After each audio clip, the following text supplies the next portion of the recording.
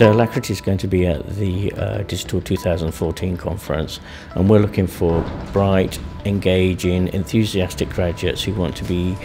high-tech entrepreneurs, an opportunity that within 12 months you can be a co-founder of your own company and have £250,000 of seed capital funding. We have an active uh, recruitment campaign for this summer, so if you fulfill those skills, we would love to hear from you.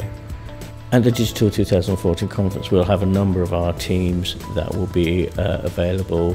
and they'll be showcasing the products that they've developed and it'll be an opportunity to engage with them and talk to them and find out what the program's about and hopefully it will inspire you to apply for our program.